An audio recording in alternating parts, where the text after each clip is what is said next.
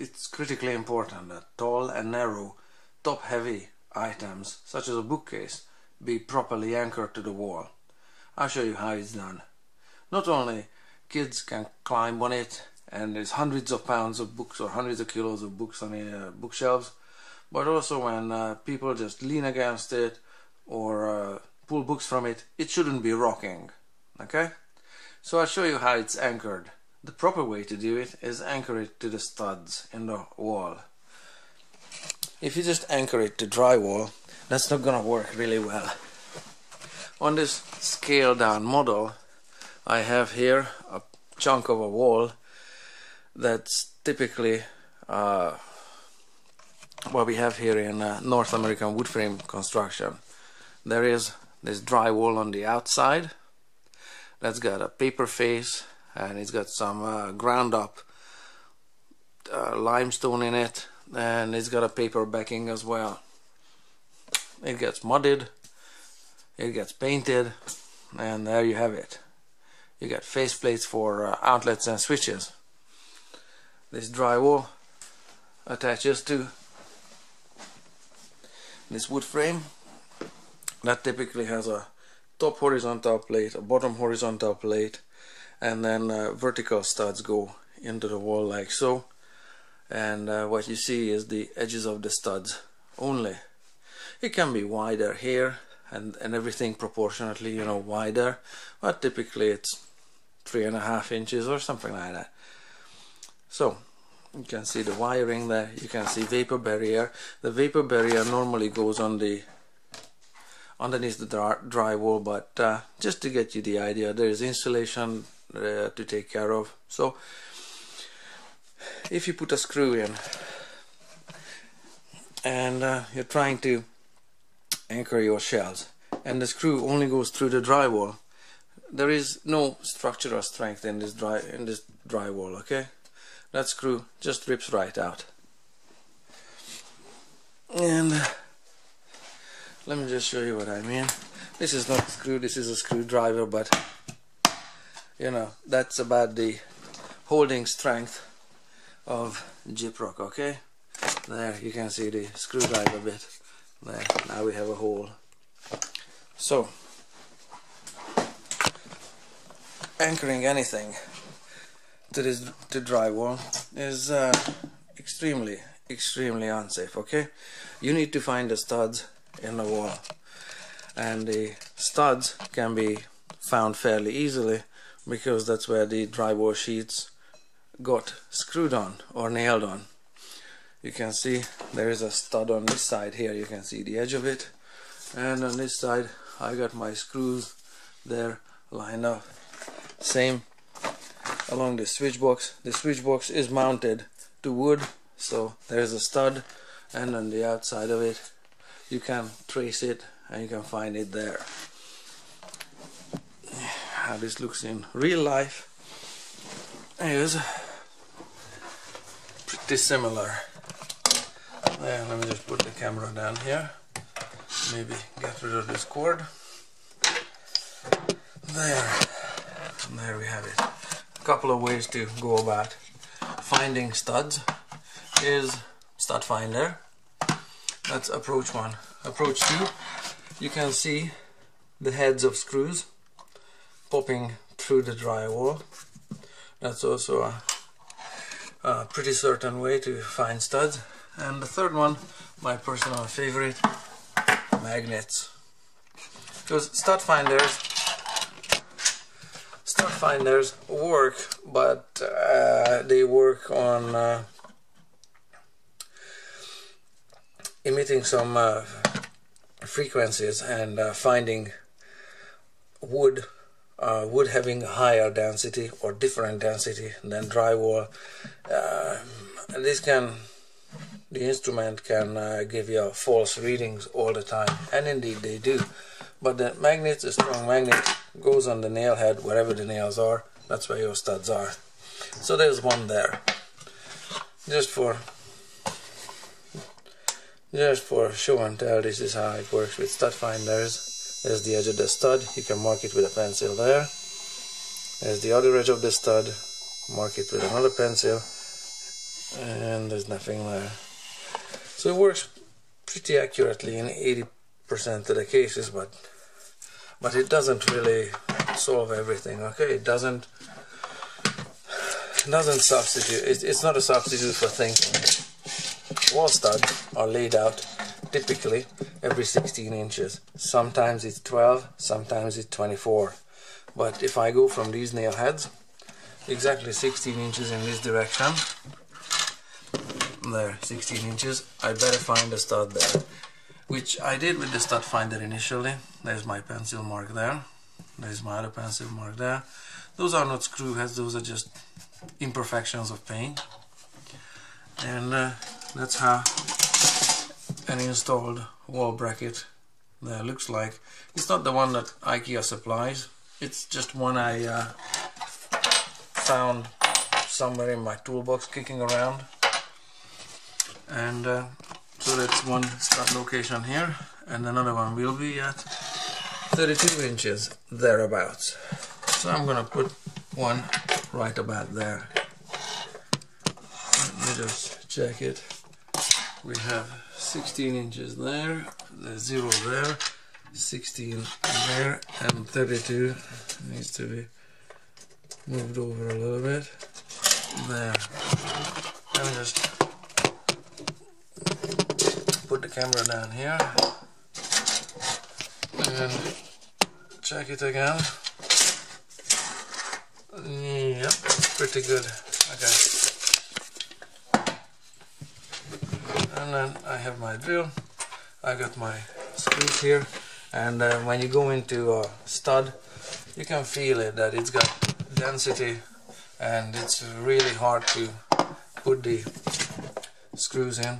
Well not really hard, you know with a power tool it's not that hard. But uh, there is a definite resistance that you feel when you're putting the screw in. So there and you can also see chips of chips of wood coming out.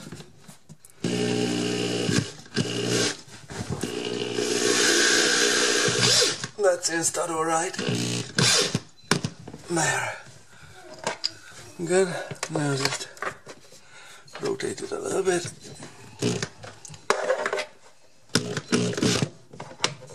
there there that's in the stud alright and uh, what I need to do is drill a small hole into the wood here and place a small screw in there using no power tools whatsoever. Please into the wood. Lastly I want to show you. So this is the screw the furniture comes pre-drilled with courtesy of IKEA it doesn't line up with the studs why would it be the manufacturers don't know where the studs are I don't know where the studs are I can only locate these studs uh, on on site after the furniture is installed. There's another one there. It's hard to see, but there's one there. So that's what I mean. That these furniture pieces need to be secured to the wall. So if I yank on it, it doesn't have any play. On the other side, where it's unsecured, there's nothing up top there. It's still rocking and it comes away from the wall so not a problem. You just have to anchor it to the studs okay? So that's how it's done. Fairly straightforward. Don't damage your walls or the furniture. Don't get hurt either. Nothing there. So it works pretty accurately in 80% of the cases but but it doesn't really solve everything okay it doesn't doesn't substitute, it's, it's not a substitute for thinking. Wall studs are laid out typically every 16 inches. Sometimes it's 12, sometimes it's 24. But if I go from these nail heads, exactly 16 inches in this direction, there, 16 inches, I better find a stud there. Which I did with the stud finder initially. There's my pencil mark there. There's my other pencil mark there. Those are not screw heads, those are just imperfections of paint and uh, that's how an installed wall bracket there looks like it's not the one that IKEA supplies it's just one I uh, found somewhere in my toolbox kicking around and uh, so that's one start location here and another one will be at 32 inches thereabouts. So I'm gonna put one right about there. Let me just check it. We have 16 inches there the zero there 16 there and 32 needs to be moved over a little bit. There. Let me just put the camera down here. And check it again. Yep pretty good. Okay. And then I have my drill. I got my screws here. And uh, when you go into a stud you can feel it that it's got density and it's really hard to put the screws in well not really you know with a power tool it's not that hard. But uh, there is a definite resistance that you feel when you're putting the screw in. So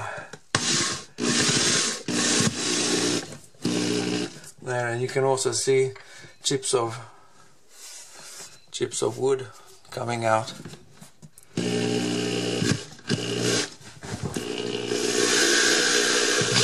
that's installed alright there. Good. Now just rotate it a little bit.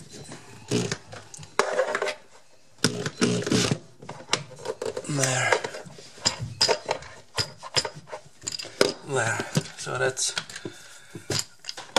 that's in the stud alright and uh, what I need to do is drill a small hole into the wood here and place a small screw in there using no power tools whatsoever. Please into the wood. Lastly I want to show you. So this is the screw the furniture comes pre-drilled with courtesy of I it's critically important that tall and narrow top heavy items such as a bookcase be properly anchored to the wall I'll show you how it's done. Not only kids can climb on it and there's hundreds of pounds of books or hundreds of kilos of books on the uh, bookshelves but also when uh, people just lean against it or uh, pull books from it it shouldn't be rocking okay? So I'll show you how it's anchored. The proper way to do it is anchor it to the studs in the wall.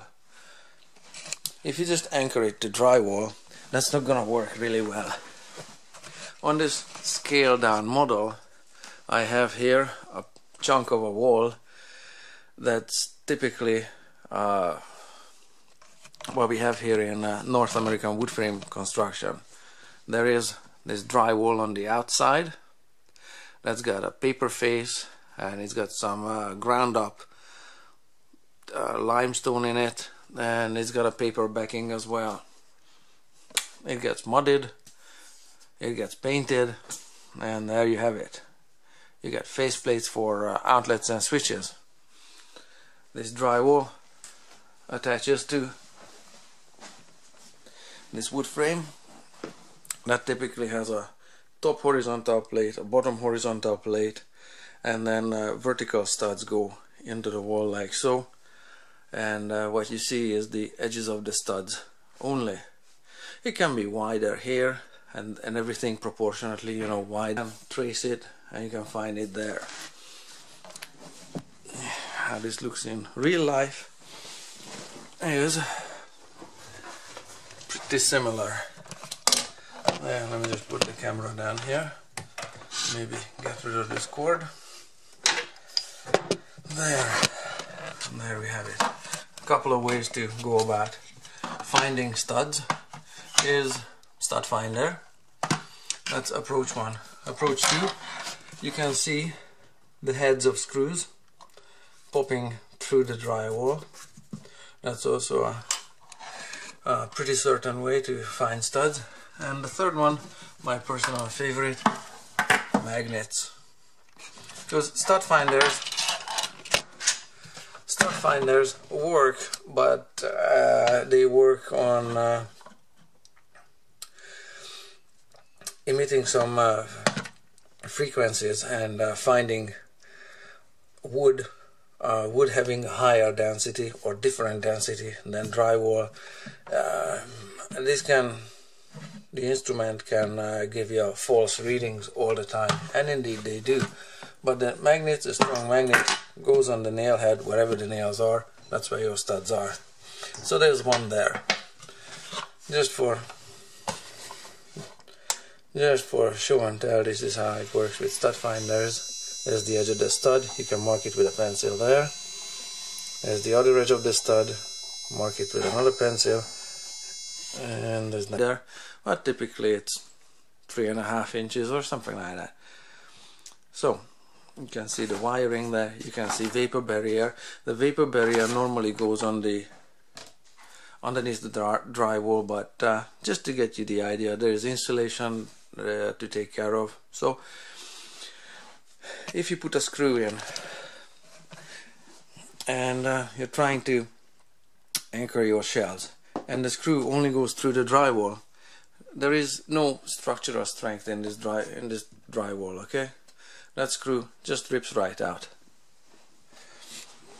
And let me just show you what I mean. This is not a screw this is a screwdriver but you know that's about the holding strength of gyprock okay? There you can see the screwdriver bit. There now we have a hole. So